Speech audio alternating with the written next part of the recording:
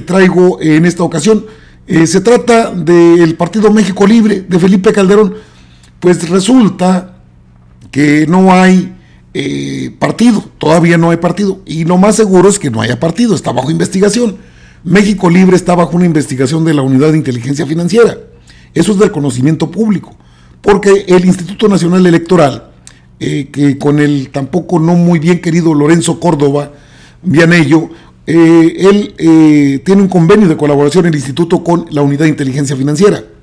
Eh, está el rastreo de lo que son los recursos por los que no le dieron el registro a México Libre o Libertad y Responsabilidad Social. Son sus siglas. Así está registrado ante el INE. El Tribunal Electoral del Poder Judicial de la Federación, o el TRIFE anteriormente, no ha determinado nada están en una, o sea, traen una cortina de humo verdaderamente lamentable porque quieren, y eso lo sacó Fausto Barajas, el mismo Felipe Calderón, abrieron la cajita de Pandora donde se establece con toda claridad que le apuestan a un funcionario actualmente de la Corte Interamericana de Derechos Humanos, eh, no recuerdo ahorita el nombre, se apellida González. Eh, ese personaje pretendería dar él preside la, Comisión Interamericana de Derechos Humanos.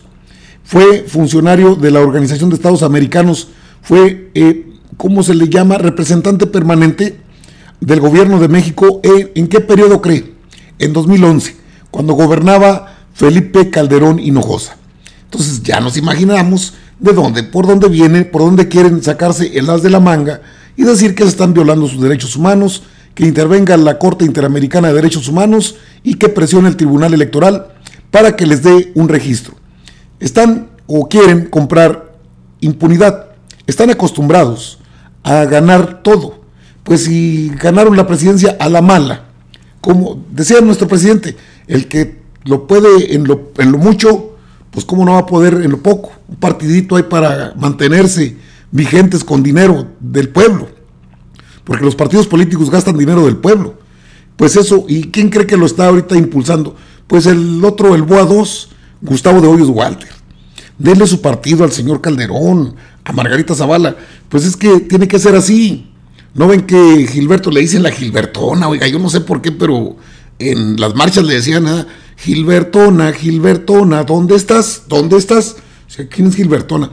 Ah, es Gilberto, Gilberto Lozano pues creo que ya lo corrieron porque no dio resultados. ¿Cómo van a dar resultados esas actitudes de, ¿dónde está López? ¿Dónde está una cruz que trae inversa y muy loco el señor?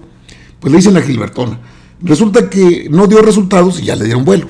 Y ahora aparece el líder del Frena 2 o los frenados, Gustavo de Hoyos Walter, es uno de ellos. El otro es Claudio X González. Ya dijo nuestro presidente, hombre, les va a poner ahí sus hamacas en el zócalo para que no se les vuelen las, las, las casitas de campaña, ya que vuelan y vuelan y vuelan. Y luego que dicen, no, es que ahí el presidente en Palacio tiene eh, eh, ventiladores muy grandes y hace que se nos vuelen las carpas. Híjole, no, es que todo lo que tienen que saber para, pues para mantenerlos informados a ustedes. Pues ya el, el, Frena 2 o los frenados piden esto. Ahí tiene usted a Gustavo de Hoyos Walter, que pide al Tribunal Electoral resolver con apego a la ley el caso de México Libre. Eh, ¿Qué dijo el líder de la Coparmex o el líder de frenados?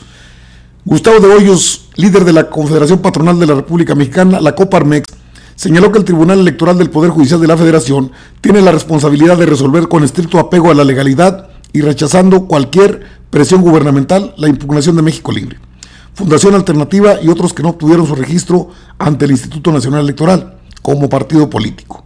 El Tribunal Electoral discutirá en los próximos días la impugnación que realizó México Libre y las organizaciones que se quedaron en el camino ante la negativa del Consejo General del INE para darles el registro.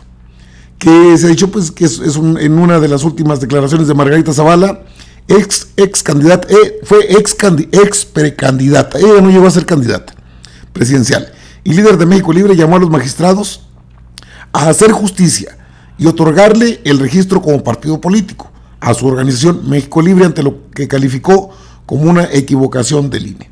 Y aquí está Gustavo de Luis Walter y está la foto del Tribunal Electoral del Poder Judicial de la Federación.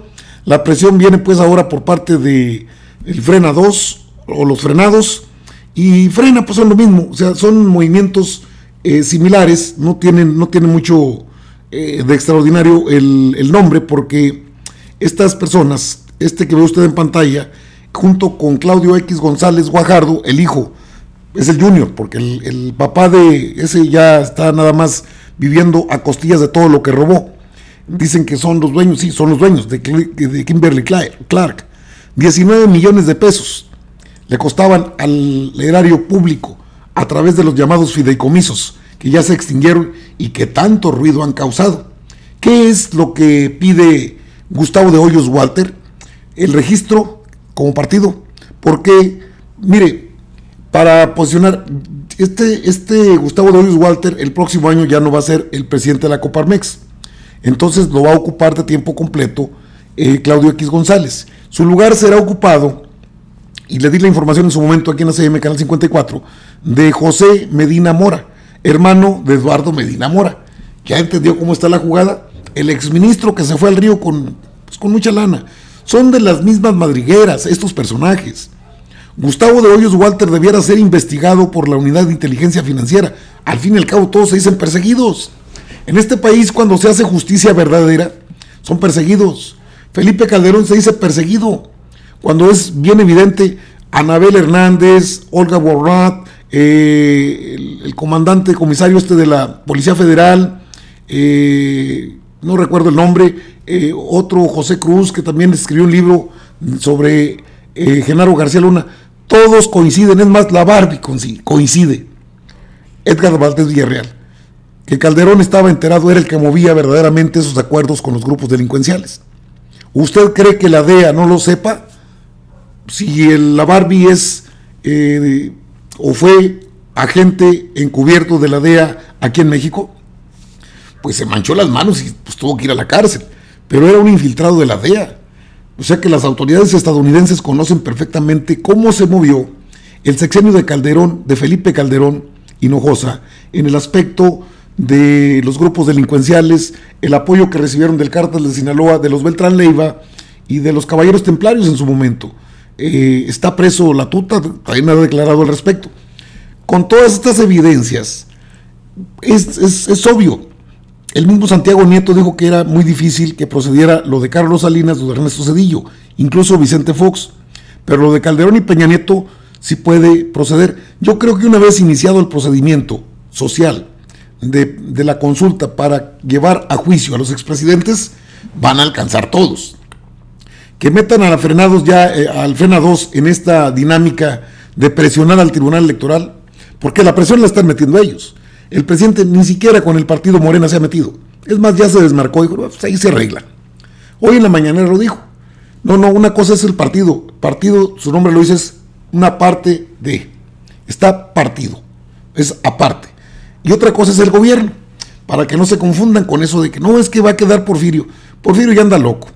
Pero Gustavo de Hoyos Walter, sin, digo, pues sin un argumento, porque, pues, ¿qué tendría que ver con México Libre si son los patrones, sindicato patronal de la República Mexicana? ¿Estarán de acuerdo sus patrones? Claro, están la gente del poder económico, pues, muy atenta a que les respeten sus canonjías. No ve que no les gusta pagar impuestos.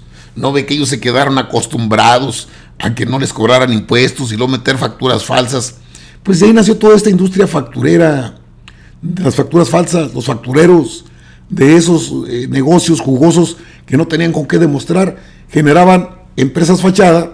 De ahí viene Calderón, de todo eso que permitieron desde décadas atrás. Entonces, que salga el líder patronal a pedir que por favor le den su lugar al, al México Libre, pues es hablar de sus patrones, al final de cuentas. Son los que lo siguen patrocinando porque pobres no están. Una cosa es que ya no les hayan dado la famosa pensión y otra cosa muy diferente a que les den un partido. Sería otro rasgo de impunidad y eso no es correcto. No es lo más... Eh, ¿cómo, decirlo? No es lo más... Eh, no es lo legal porque el Tribunal Electoral debe estar exento de cualquier presión. Y esto que hace la Coparmex, lo que hace Claudio X González y créalo, muchos empresarios del país que están en contra de la cuarta transformación, pues es presión. Y es presión para un tribunal que se ha tardado en emitir la declaratoria respecto a estos partidos que no fueron, porque no es el único. Hay otros que fueron rechazados y que también pidieron la intervención del Tribunal Electoral del Poder Judicial de la Federación. Yo creo que no les van a dar partido por todo esto que le he explicado. Es más, creo que está queriendo comprar impunidad. Margarita Zavala es la fachada, pero el, bueno, pues aunque ande ebrio, le guste mucho la bebida, pues es Felipe Calderón. Felipe del Sagrado Corazón de Jesús Calderón Hinojosa, es su nombre completo, aunque no le gusta. Dicen que ese nombre no le gusta, nada más Felipe Calderón. Bueno, Felipe Calderón, Felipe del Sagrado Corazón Calderón, Felipe del Sagrado Corazón Calderón Hinojosa. Aunque no le guste, así se llama. Así se llama. Entonces, pues ya la Coparmex, ya es que es frena 2 o los frenados, que es lo mismo, porque el frena 1 pues ya, ya no se la acaban ahí en el Zócalo. Ya pidieron un paro para que pues les ayuden porque esto se está saliendo de control, todos los días van y les revientan su jefita ahí, con palabras, ni siquiera les hace nada.